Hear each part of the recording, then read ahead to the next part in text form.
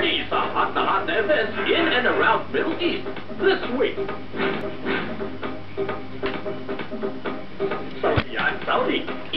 Reaksyon ng mga batang nagsipagtapos sa nursery, kinder at prep ng Children's House kamakailan.